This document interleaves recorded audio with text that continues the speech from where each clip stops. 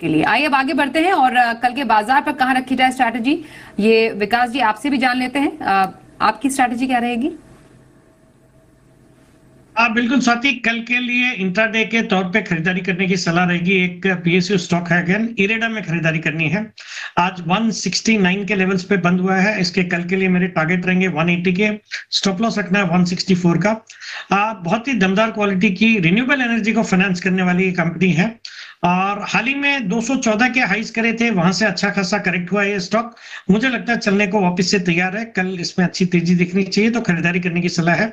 इरेडा में for a target of one eighty 180 के target के लिए इरेडा में कल के बाज़ार में खरीदारी करने की सलाह विकास सेठी की राय। धन्यवाद विकास जी हमसे बातचीत करने के लिए। रुकते